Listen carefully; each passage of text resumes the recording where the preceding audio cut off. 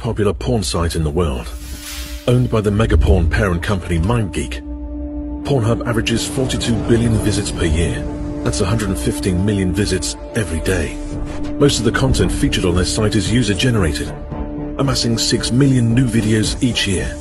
That would take 169 years to watch. Pornhub has become the global epicenter of internet pornography.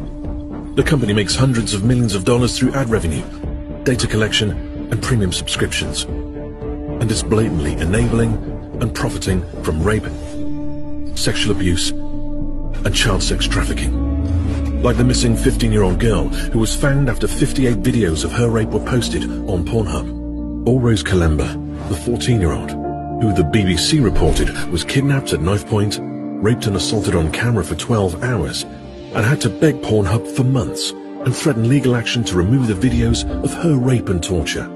Or the images of a toddler being sexually abused, found through an investigation by the Sunday Times.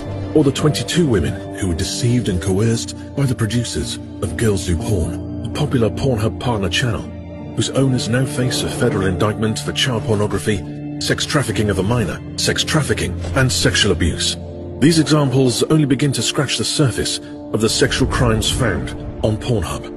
According to the Internet Watch Foundation, in only two years, they processed and confirmed 118 cases of child rape and trafficking on Pornhub. These aren't models or actresses playing a role in a movie.